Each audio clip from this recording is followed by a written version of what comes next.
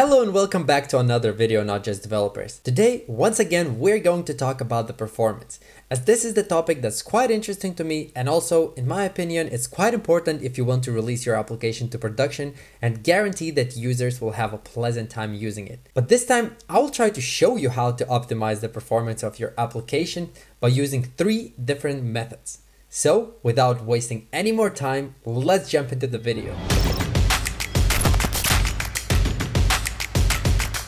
Okay, so before doing anything, I just want to really quick test our application to see its current performance score and later on to be able to compare after our optimization and improvements whether we've actually improved at least a little bit. Of course, I will do this behind the camera in order to simulate the real world environment as best as I can and give this application the best chances to get a high score. So stay tuned, we will come back very soon and see the results. So after testing the app for a few times, the average result was around 30. So that's going to be our base performance score from where we will try to improve. Now we can go and look uh, at the code. First of all, it's going to be a rather simple application. Here we can see a list of crypto coins. Here we can see a title, but later on we will try to add a little bit more things to this application and see how adding, let's say, a function can break your optimizations. So as you can see here from the code, we have a crypto assets title, which is here. And after clicking this title, it should change the color to green. So let's try. Click and it does change it to green. If I click again, it changes it to white. But you can see how slow it is doing that. We can already understand from this that something is wrong here. Changing simply a color shouldn't take that long. It should be a lot faster. Well, let's dive into our code a little bit. We can see that there's a view, here's the title, here's another title that we will implement a bit later, and here is the flat list. This flat list is rendering coin items. Let's take a look at the coin items. And coin items is a pretty simple component where we are rendering basically the whole item. After clicking on one of them, we will see a console log coin pressed, but that's a bit for later. And also we are console logging here when the item is rendered. So let's go back to our Flipper plugin and open the logs. Let's delete everything and reload the app. Right away, we can see that coin item rendered is uh, logged 99 plus times, which means we are rendering them for the first time. So let's delete this and click on crypto assets again. We changed the color, but we can see that they are rendered again. So we can already understand that something is bad. We are re-rendering every one of the items, even though we're not doing anything here. We're simply changing the state in our home screen component and changing the color here. So why is this re-rendering? This shouldn't be happening. Well, that's how React Native works. If we change the state here, it will re-render everything here. And by everything, flat list as well, which means it needs to re-render every one of the items that's inside this flat list. And that's pretty bad. That means that we have already found why it takes so long to change the color after the click. Okay, so what is the solution here? And one simple solution is using react.memo. So let's see how to use it. First of all, let's go to our coin item and simply import memo from here and then wrap our component in memo. Okay, now let's save it. Let's go back to our logs. We can reload the app as well. We can see that they're initially rendered, which is fine. We need to render them for the first time. Let's clear the logs and click on crypto assets again. We can see that they are not re-rendering anymore. And crypto assets, it's instantly changes the color. That improved our performance by quite a bit already. So that is very good. Let's go back to our code and understand why is this happening. So when we wrap our component with this higher ordered component called memo, it memoizes it. And basically every time when we re-render this flat list, and these coin items, it will check whether the props are the same as in the memory. And if they are, that means it doesn't need to re-render it. But if the props change, it will re-render them. So that's how we are able to stop re-renders because we don't change these props. It's always the same. Therefore, they are not re-rendering anymore. But we can very easily break this. And I'll show you a pretty common example when this would be broken. Let's say that every time when we click on one of the names, we want to display them here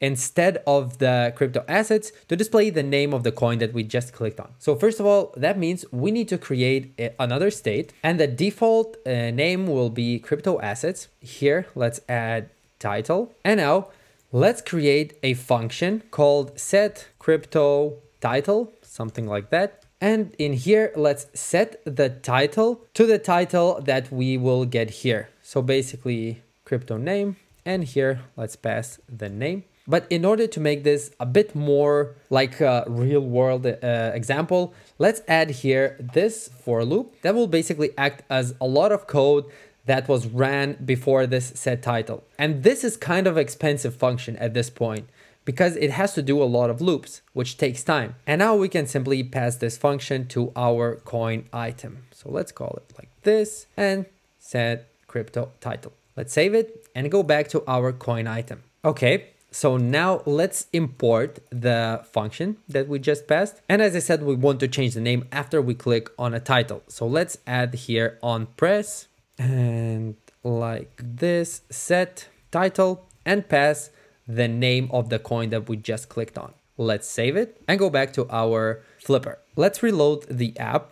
And as we can see here, we are rendering the items for the first time which is good. Let's delete our logs and click on one of the names. After we click on them, we are rendering them again. So yeah, let's clear it again and click on another one, re-rendering, which is very bad. And as I said, we broke that. So even if I click on here to change the title color, it still re-renders all of them. And this is happening because if you remember what I've explained before, every time that we change the state, the whole component is re-rendered. And that means that this flat list is re-rendered as well. But you might think that we just fixed this problem. And you're right, but let me explain why simply adding this function broke our react.memo. So it happened because when we are trying to compare objects in React Native, it's comparing them referentially, which basically means that we are trying to check if those objects are allocated in the same space in memory. So in our case, because we're changing the state, everything here is re-rendered. And therefore, every time we create an entirely new function, which means React.memo will think that we are passing a new prop because React.memo compares everything referentially. And it is comparing everything referentially because it is a lot more efficient rather than comparing values, which is a lot more expensive. But we can fix this problem by using a hook called use callback. So let's do that. Let's import use callback. And instead of having this function like this, let's go down here and create a new function called memoized callback. Okay, now we can use use callback, which accepts the function that we want to uh, memoize. And in our case, it is set crypto title and also the dependency array, which if you remember from use effect, it will basically specify when this callback should change. In our case, we don't want it to change, therefore we will leave it empty. Okay, and also here we can pass uh, arguments like in any other function. So we could say here add name, age, and whatever, and simply pass it here to a function. So we would call it basically memoized callback here. We will simply, we can pass it here. And then basically you would add the arguments that you want to pass here. In our case, we only need to pass the name. So that's what we are going to leave. And we would pass the name like this as well. So that's like an example.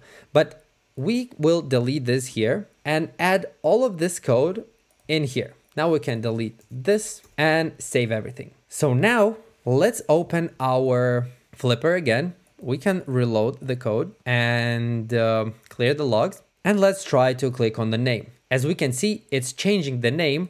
It's taking long because the function in itself, it's pretty expensive. It's a long function, but it's changing the name without re-rendering everything. And that means that our color change will work fast again without re-rendering all of the components. So now let's go into this code and try to understand why is this happening. So how this use callback works, it simply memorizes the function and therefore this function will stay referentially the same. So when we will be passing it to the coin item, it won't re-render the whole component because now the objects are referentially the same and therefore React Memo will work again. And yeah, simply as that, we've fixed our problem. But let's say after clicking on one of the items, I want here to display at the top the price times 10. That's uh, an example that I've managed to come up with, uh, but I think it's going to be pretty clear when you want to use this. So let's create a new function called const something like multiplied price. Okay, let's go back here. Again, we will want to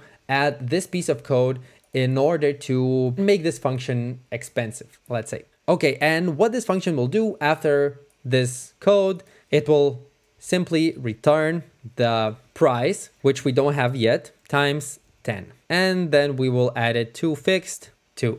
So as I told you, we don't have this price yet, which means we need to create another state. It's called this price set price. And here at the start, price will be zero. And here, if you remember, that's where we add this. So let's add the price here. Let's save it. Okay, we can see the zero appeared here. So now we need to know what the actual price is after clicking on an item. We don't know from here what the price is. So we will simply pass a function set price to our coin item with set price. Let's save it. Let's go to our coin item. And here we can import set price. So now after we click on this item, we want to set here the price to the current price of this item that we clicked on. So let's save it. Let's go back. And actually, I said we need to display here the price, but that's actually not true because we would display the actual price that is right now. But if you remember, I said that we want to display here the price times 10. So that means that I need to call this function in here. Let's paste it and call it, save it. And now after clicking this, I can see that the price is 10. After clicking here, we can see the price changes again. That's good, but now let's go to our flipper once again. Let's delete it and reload. Okay, as we can see, as always, here we render the items for the first time. And actually, let's go back to our code. And in order to know that we're calling this function, let's console log and say function was called. Let's save it.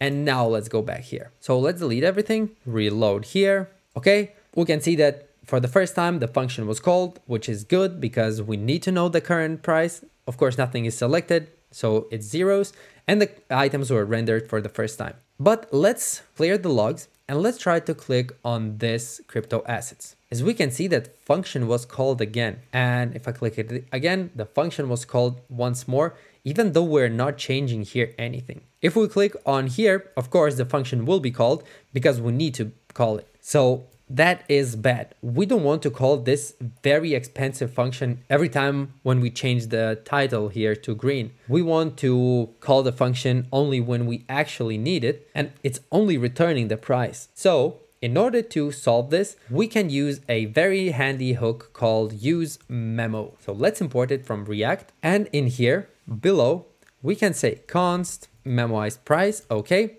equals use memo and we will pass the same arguments like for use callback. So at first the function, which is going to be multiplied price and also the dependency array. But in here, we are dependent on something. We are dependent on the price change here.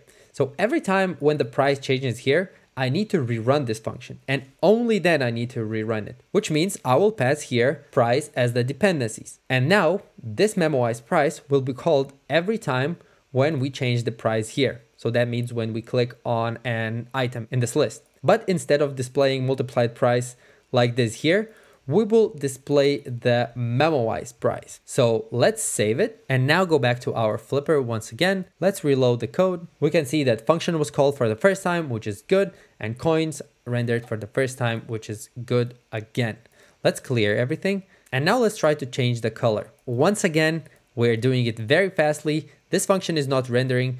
Even if I click here, nothing is re-rendering. This function is not called. But if I click here, we can see that the function was called, which how it's supposed to work. Now you might be wondering, so what is the difference between use callback and use memo? And to put it as simply as I can, use callback returns its function, when dependencies change, while useMemo calls this function and returns the result when dependencies change. So that's basically their main difference. So I hope everything was clear because this is basically the three optimization methods that I really wanted to show you. And now, after optimizing our application, let's try to test it again and see whether we've managed to improve the performance score, which again, I'm going to do behind the camera in order to give the best chances and make everything equal. So stay tuned and let's meet very soon after I have the results. Okay, so after running the test for a few times, I'm happy to announce that we have improved our application by quite a bit. The average score after all of the tests were around 85. So yeah, I'm very, very happy to see that. But also, I want to mention that memoizing everything is not a solution either. If you use it everywhere, it can even hurt the performance. So for example, the most common use cases for each would be using useMemo on expensive functions, wrapping components in React.memo only when that component is re-rendered often with the same props and the component is relatively big in size. And lastly, using use callback when the component that accepts your function relies on the referential equality. Of course, there are a few more good use cases for all of them, but I just gave you the most common ones where I think you can start in order not to overwhelm you with the information. And yeah, guys, I hope that this video was helpful to you, that you've learned something new, and now you will be able to improve the performance of your application. As always, thank you very much for watching. And if you enjoyed this video, please drop a like and subscribe to the channel because we will be releasing quite a few interesting tutorials in the very near future, and I think you will enjoy them. So without wasting any more of your time, see you in the next video. Bye.